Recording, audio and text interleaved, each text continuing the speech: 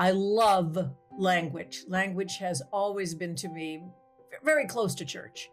And his language is so extraordinary, and his rhyming, and his uh, humor, and his cutting edge wit.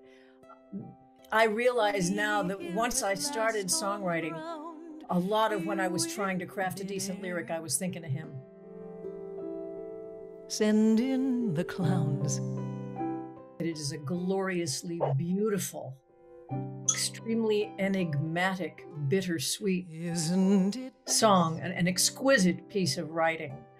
Um, for me personally, it's very personal because I'm looking more back at my career than forward to my career.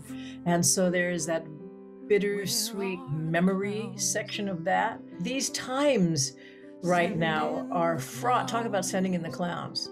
And I remember reading somewhere that the term send in the clowns comes from whenever there was a disaster at the circus. Whenever somebody was injured, somebody fell off the high wire, the lions were trying to attack them, they would say, Quick, send in the clowns. So, in this time of disaster, it seems to me that this song is very appropriate. Again with my usual flair. Thank you for being. Thank you for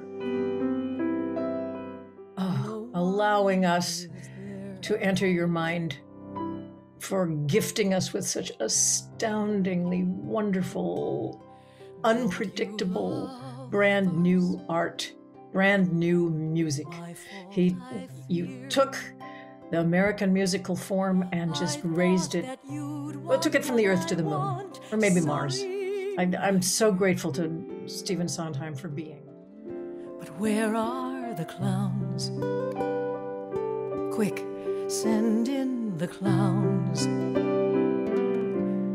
Don't bother, they're here